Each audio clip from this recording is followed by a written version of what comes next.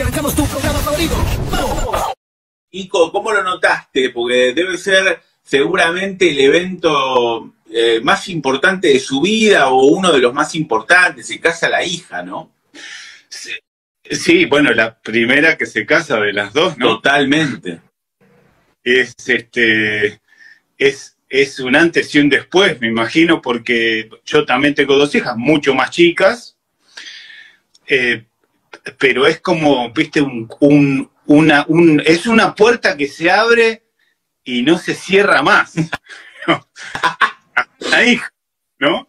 Es como cuando la primera de las dos entra en la adolescencia. Bueno, hay todo un cambio total, absoluto, que, Ujú. que es una revolución en toda la familia. Se modifica la etapa familiar de todos, ¿no? Total.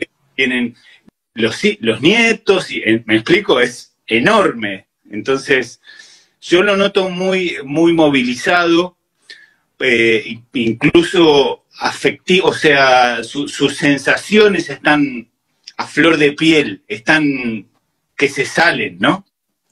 Que se les sale. Ajá. Y más ha dicho, eh, pienso en tal cosa y, y lagrimeo, entonces él está muy emocionado. Se, se nota que él es muy sensible y, y- y obviamente esto lo, lo, lo, lo pone al máximo, a full, ¿no? Tanque lleno Claro. de emoción, digamos. Nico, contame un poquito el detrás de escena de todo esto. ¿Cuál fue el primer contacto? ¿Cuándo se juntaron por primera vez? Eh, tengo entendido que la primera vez que fueron a tu atelier, eh, él fue acompañado por, por Katy Fulop y también por, por Vicky, que es la asesora de imagen de la familia, ¿no? Sí, Katy vino muchas veces, Vicky está, está siempre. Eh, Katy vino muchas veces, eh, siempre lo son muy compañeros, se, nota que tienen una relación fantástica, se miran, se entienden, eh, se agarran la mano, no sé, se, nota que tienen una, una- una simbiosis maravillosa, ¿no? Y es, admirable también después de tantos años que, que eso funciona así tan, tan lindo, tan agradable. Vicky es, es una profesional de un fuste increíble, eh, con un gusto súper refinado. Además es una persona divina, adorable, ¿no? Un, gran don de gentes, podríamos decir, un gran don de gentes. Eh, y bueno, la, la primera vez fuimos pensando juntos, eh, Vi- Vicky traía una idea, Oba tenía una idea incompleta y les redondeé con lo que querían la, la propuesta. Después la segunda, eh, la sastrería a medida artesanal tiene una, una serie de pasos que hay que, ve- vendría a ser el equivalente a la alta costura, en donde ese vestido que se cose a mano se prueba varias veces porque se va ajustando con todas las especificidades de ese cuerpo. Necesitamos un tiempo prudencial entre 60 y 90 días. Yo entiendo que el modisto de alta costura, que no es lo mío, requiere de, de más tiempo tal vez, porque en general son prendas como más grandes, ¿no? Los vestidos son más grandes que un saco, un saco y un pantalón. Es decir, se, se arman por separado. Esto se arma todo junto. Entonces requiere a veces, y como muchas veces tiene mucho trabajo, a veces de bordado de flores, a veces de los, los canutos o las piedras o lo que fuere, te lleva mucha hora de el armado de la tela, entonces ellos requieren de más tiempo. Nosotros no, no, no, no hacemos agregados en las telas.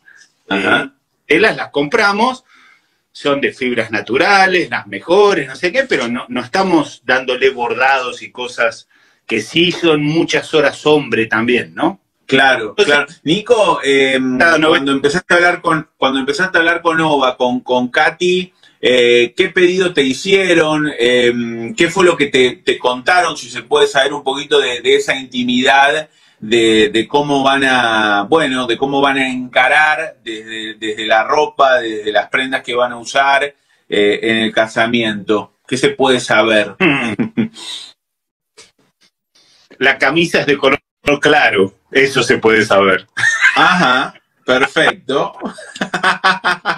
Eh, ¿Te hicieron algún puro? ¿Te hicieron algún pedido en especial? Eh, o, primero expusiste vos un poco tu, no sé, el panorama tuyo de, todo? No, no, ya ellos vinieron, te decía que él vino con la idea de qué solapa quería. Ajá, perfecto. Solapa. Entonces, no vamos a saber en qué diseño completo está esa solapa, ni voy a decir qué solapa es. Ajá. Pero eh, vino con la idea de una solapa y, yo le di el, esquema del outfit, digamos, junto con, con Vicky, lo que obviamente estábamos los tres ahí rosqueando esta, este, esta ley, digamos, ¿no? Por, usar un término de coyuntura, ¿no? Ajá. Escúchame, y es un outfit, eh, te, lo pregunto como para que lo entendamos todos, ¿no? Por ahí, no, no tan técnico. ¿Es un outfit eh, clásico? ¿Es un outfit sofisticado? ¿Qué, ¿Qué me podés decir?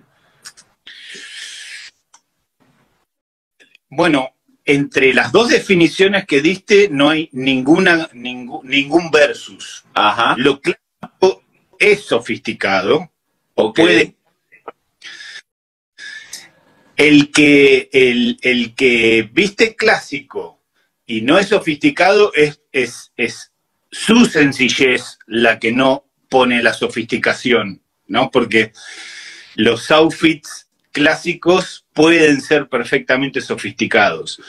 Lo que no es, es vanguardista, disruptivo eh, y, alocado, digamos, ¿no? Ok. Ah. Es, es, un outfit perfectamente ubicado para, para una, una, boda. Una boda tiene dos, dos partes. Una ceremonia y una festiva. No importa si uno se casa por iglesia o, por, religiosamente o no, pero hay una ceremonia humana que es incluso previa a, todas las religiones, en donde eh, dos personas se comprometen a formar una familia hacerse fieles o bueno, las versiones que, las vertientes que puedan surgir de ahí, a estar juntos. Eso se puede tomar eh, desde siempre como, como una ceremonia humana, con valor humano. Después se puede aportar lo religioso, pero entonces tiene un componente ceremonial. Y tal vez en la vida de todo humano, es la ceremonia más extendida de la historia, ¿no? Porque después difícilmente uno vaya a una ceremonia de una, entrega de un premio o de, un premio Nobel o de, bueno, esos son menos personas que van a ceremonias, ¿no? Pero la mayoría puede tener su casamiento o puede ir a la ceremonia de otro en el casamiento. Y después siempre se festeja la ceremonia. Entonces, hay un matiz también, porque hay prendas que son, ceremoniales, prendas que son ceremoniales festivas, prendas que son festivas pero no son ceremoniales. Entonces hay que encontrar un punto justo. Una boda no es tan sencillo como parece, ¿no? No, no, totalmente. Eh, ¿Cuántas reuniones hubo, eh, si se puede saber, desde, bueno, desde aquella primera eh, y lo otro que te quiero preguntar también, un poco el, rol en, esas reuniones de Katy, digo, si, si estaba más escuchando eh, o, estaba también participando eh, demasiado e involucrándose con, el outfit de su marido. nosotros, bueno, Katy es, es un personaje total, ¿no? Es una persona adorable que te cae bien desde el hola, eh, después entre que es cómica, no porque graciosa, sino que es cómica, a veces hace cosas cómicas y la encontrás en, en facetas de concentración que son este, eh, admirables, ¿no? Y además es muy hábil, por momentos pareciera que no, pero es muy hábil haciendo fotos, videos, ángulos. Ah, mirá. Puede decir, pero eh, uno la ve en faceta de repente pensativa, bueno, es un intelectual, puede ser hasta, diríamos, ¿no? Sí. Y de repente, una practicidad para desarrollar una historia fílmica o en fotos, increíble.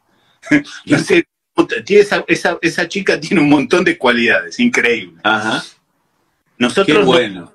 nos vimos eh, tres o cuatro veces, van, van a ser cinco, en total cinco o seis, cinco o seis, que, no, que para terminar la prenda, que ya está muy avanzada, ya está en un 80% terminada. Faltan algunos detalles. Perfecto. Eh, en los outfits de, mm, por ahí no sabes esto, ¿no? Pero te lo pregunto igual, de Ova y de, y de Katy, eh, ¿opinó Oriana o, o no? ¿Te llegó algún dato? ¿Pudiste hablar de pronto, no sé, con, con ella, de, de lo que pretendía por No. su casamiento? No hablamos todavía. Ellos, este, ah, hicimos una videollamada, sí, tenés razón. hicimos una Con videollamada. Eh, Oriana. con Oriana, Ah. sí. Porque. ¿Y cómo pero- fue pero- eso? ¿Te pidió algo o no? No, no, no, no. Me parece que no, no, sí, va, al menos eh, nosotros lo que sí hicimos fue una vez que decidimos lo que íbamos a hacer,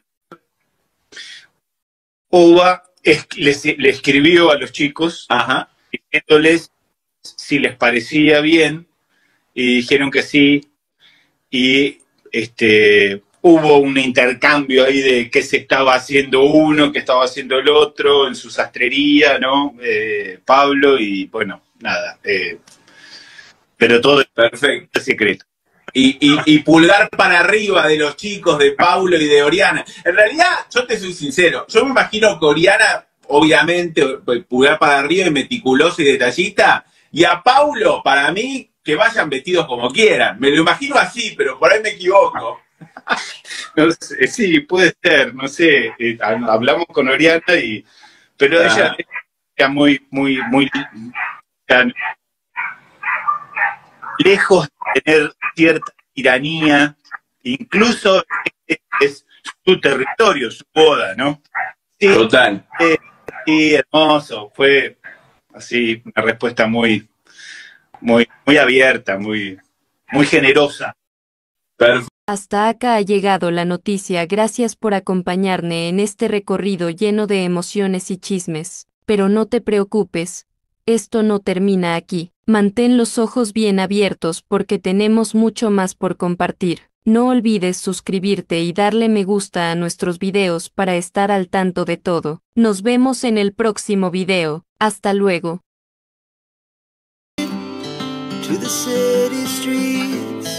We began to feel the fire. We rise like tall buildings as the chemicals they take us high.